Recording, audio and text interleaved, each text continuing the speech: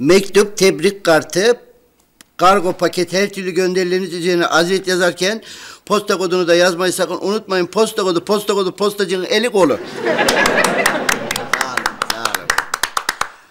sağ olun, sağ teşekkür ederim.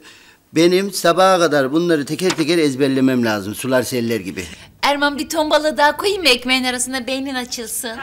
Ya sen ne diyorsun abi? Ben heyecandan midemi hissetmiyorum ya. Aa Erman ne demek heyecanlanmak?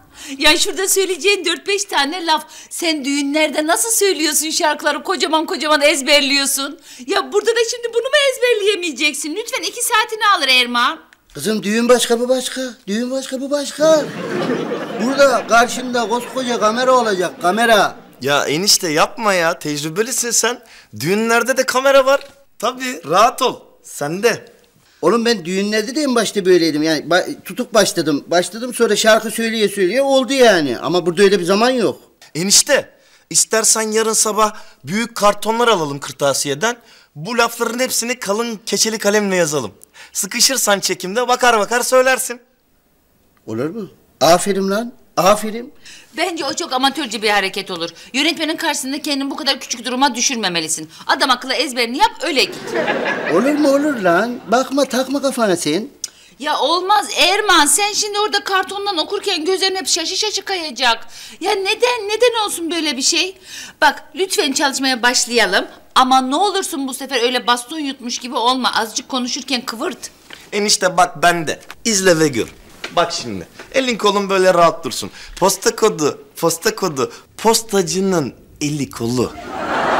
Eli kolu. Bak rahat. Bir daha yap bakayım. Böyle enişte rahat yani. Böyle bedenin rahat olsun. Karı mıyım lan ben? Otur lan yerine. Otur. Karı gibi kıvıracağım mı lan ben? Sana da iyilik yaramıyor yani işte. Ne yaparsan yap ya.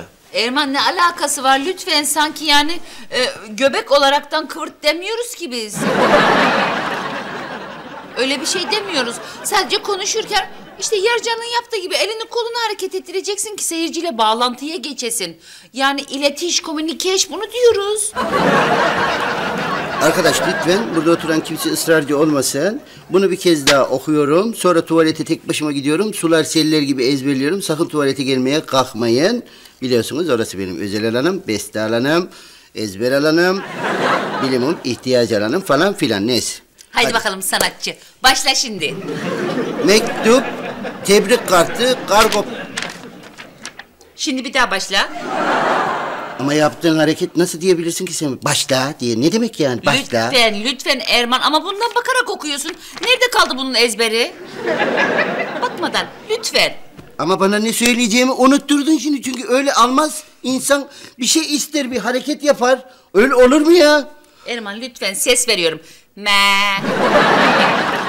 Ee, mektup, posta kodu, posta kodu, postacınız e- e- eli kodulu işte o Tebrik kadar. var, tebrik var, arada tebrik, var. Tebrik de var, postacı da var, arada var ama lütfen verir misin?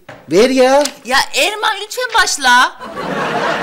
Ee, mektup, posta kodu, ee, e, post, e, mektup, telgraf, posta kodu, e, hiz- e, hizmetlerin mm, posta kodu, e, eli, postanın eli sağ solu, eli kolu.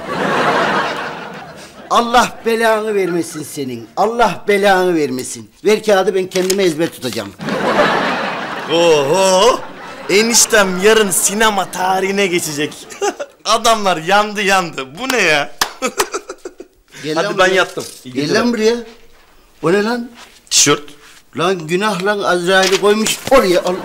Ya ezberleyemiyor bana basıyor ya. Olmayacak. Yapamayacak. Türk malı ho, Türk malı hey Baba bana para ver,